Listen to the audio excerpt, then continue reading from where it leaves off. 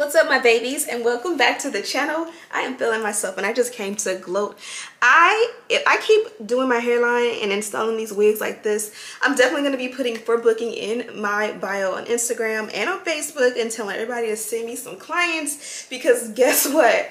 I have came a long way in the hair and wig game and even though I am not a licensed cosmetologist, I feel like I've been able to practice and make perfect. Like i feel like i am so proud of myself. And the icing on the cake is that i had two daughters. So as they go through life from childhood toddlerhood middle school high school adulthood. If they get their hair done for the wedding and it comes out a disaster mommy to the rescue. I will forever be able to keep their hair looking good and more importantly teach them how to care for their hair whether it is a wig a weave or their natural hair. So i'm gonna go ahead and jump into this video. This one comes courtesy of yg wigs. They sent over this beautiful wig and there was no smoke and mirrors no craziness going on. Everything i did to complete this look and install this wig literally from taking the wig out of the box is start to finish begin beginner friendly i'm getting ahead of myself. And of course i linked everything that i use. So if you see me use something like oh what's that? What's that spray? What's the wig kit what's this? All of it is listed and linked in the description box for you guys to check out.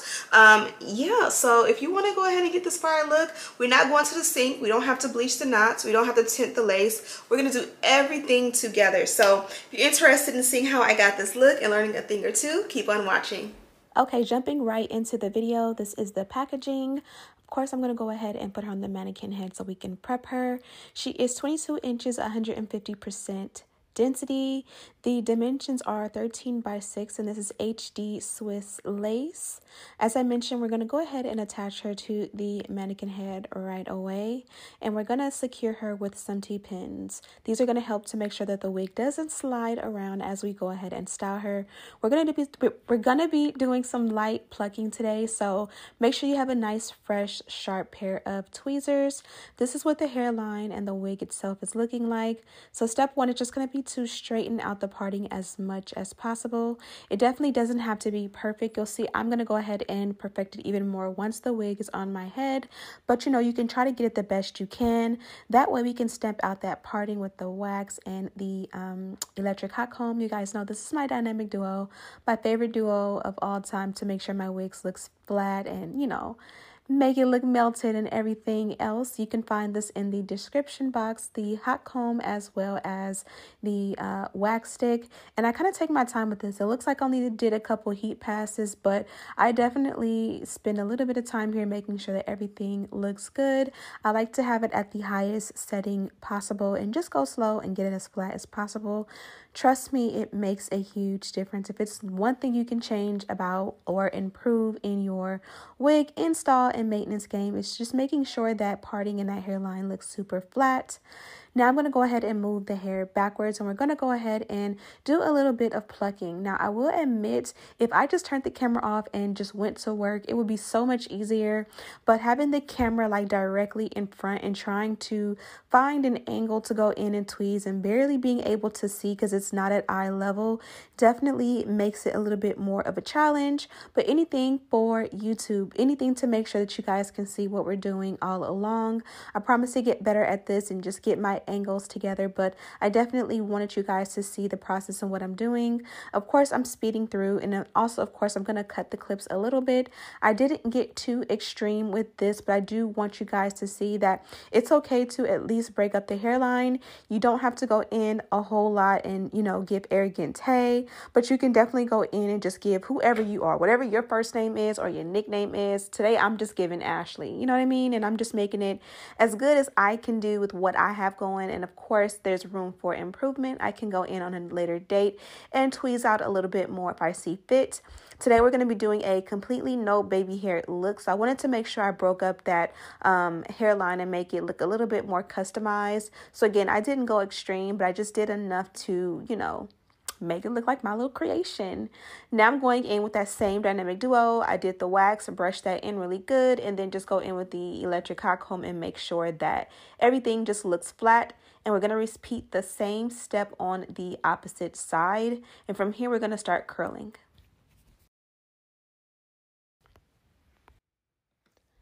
Okay, so now we're going to flip the wig around and begin to do our curls. Be sure to add a heat protectant. Here, because the hair has been color processed, it kind of is like showing where there are a little bit of flyaways. Usually when the hair is black or a natural black, you can't see these flyaways, but they're just a lot more apparent with blonde hair. So I'm just going to take that wax and just kind of lay down any flyaways that I seen. Really didn't need any heat because it wasn't like bad or extreme. I just wanted everything to look smooth. Now I'm going to go in and just grab nice medium to large size sections. Not necessarily, you know, trying to do the most Again, when the camera is on and the tripod is there, it prevents you from being able to get back and forth. So honestly, you know, you want to take each piece and section it out nice, grab the comb, smooth it out, then go ahead and wand curl it. But to be honest, because everything is so far away and the tripod is in the way, I just grab the wand curler in my hands and just go to work and do the best that I can. And not to toot my own horn, but these came out amazing. These curls came out absolutely beautiful. Now, a step further would be to go ahead and just make sure you add a heat protectant beforehand.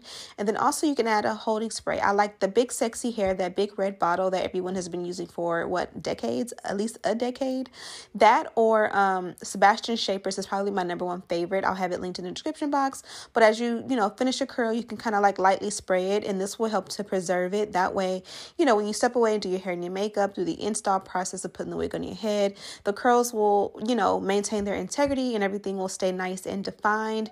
You'll see for me, it definitely, the curls definitely held um, very, very, very well, but I wanted waves, not extreme definition. So that's why I didn't add any holding spray or anything like that.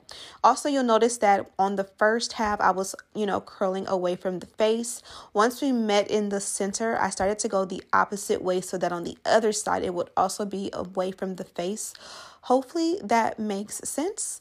Now we're going to go ahead and finish these up really quickly and then we're going to start the install process.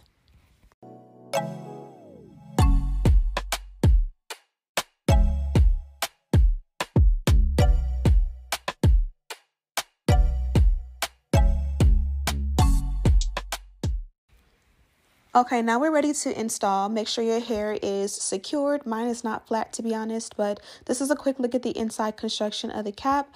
And voila, this is what she looks like on. The wig fits nice and snug. My parting was not straight as I mentioned. So we're just going to go through the install process. You guys have seen me do this a million times. I start off by making sure that the wig fits from ear to ear. If there is excess lace that covers the ear on each side or either side, I just cut that off. Um, and then from here, I'm just going to cut off the excess lace around the remainder of the wig. Typically, I like to use an eyebrow razor, but if I don't have one handy or not sharp, then I'll just go in with my regular hair shears and get that removed.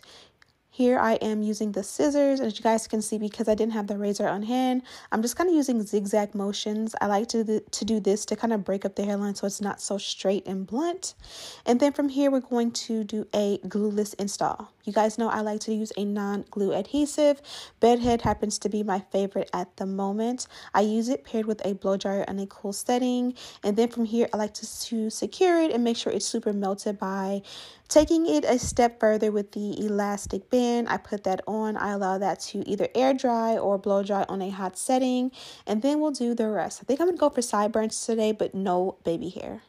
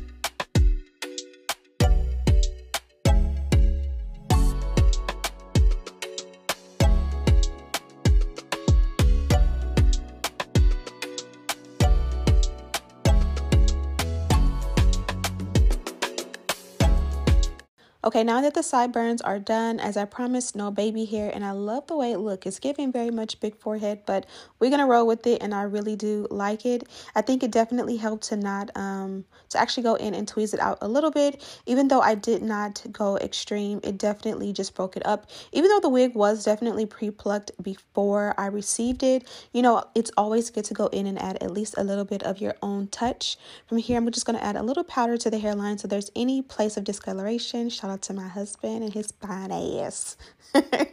but yeah, I'm just to go in, per- in from here. I straightened out the parting and just make sure that was stamped out. Added a little bit of powder to the hairline to make sure that that was also um, you know, covering up any imperfections from like glue, adhesive, or imperfections from my install process. And yeah, that's pretty much it.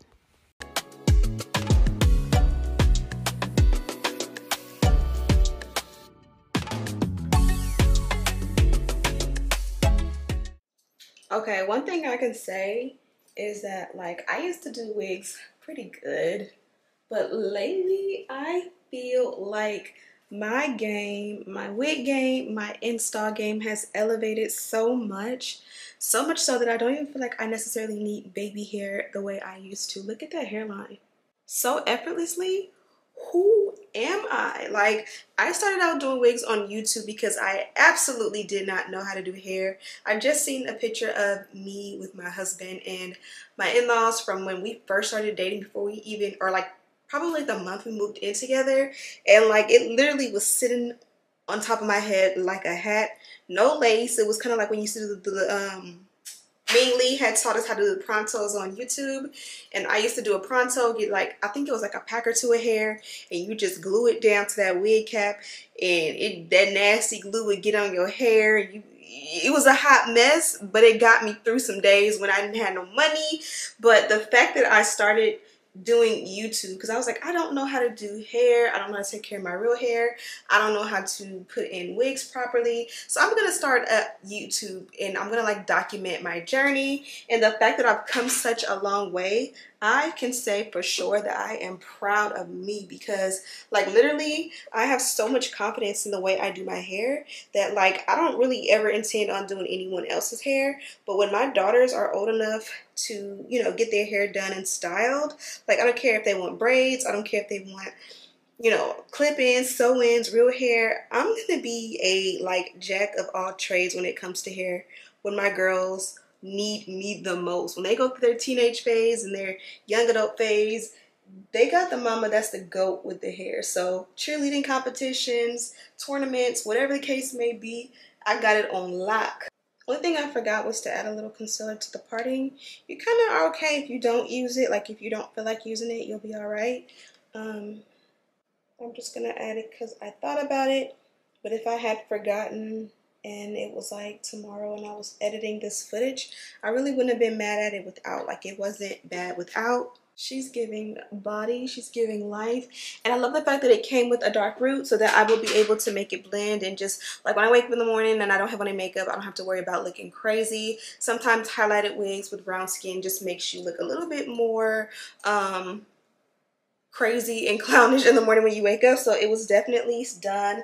Uh, the highlights on this one was definitely done very tasteful, very woman of color friendly. I don't know if you guys like it or care when I show you guys the package, but I'm a creature of habit. So I always have to show the package at the end. Let me know if you prefer me to or not to. But as I mentioned, this one came from YG Wigs and they do have the tissue with their um, logo on it.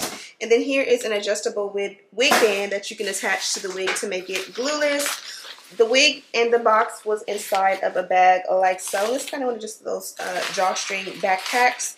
So this is perfect for storage as well. And this bag here had some nice goodies in it. Um, they gave me two of these clips. You guys know I love these for um, when I'm installing my wigs. Ooh, a nice pair of plain gold hoops. These actually would complement this wig so if I threw them on right now. Actually might. Um, pack of wig caps baby hairbrush. And then I'm not sure if this is a shower cap, a bonnet, a scarf. Oh, it's a long bonnet. So like how this is on a longer side, I could put like the bonnet on and leave the hair hanging inside to protect it. So that's super nice. A lot of people are getting hip to the fact that a lot of people want to keep the, uh, you know, wig hanging when they sleep, Oh, that was nice. And to match, they give you the satin scrunchie. So if you want to like put the hair into a pineapple or into like a low like twisted up bun um, to preserve the wave, you can do that and secure it with that. And then a headband to secure the hairline. So you have a three piece set. I'm actually going to keep up with that because that is the perfect three-piece set to keep your wig up. But I'm gonna go ahead and let you guys go and I'm gonna go ahead and take some pictures and enjoy this beautiful wig and this fire hairline and the curls and the color and all that. I'm gonna do some TikToks with the kids because they love when I give them a moment to TikTok with me, but I'm Ashley B. Deck. Thank you guys so much for watching. And if you lasted this long in the video, go ahead and give me thumbs up.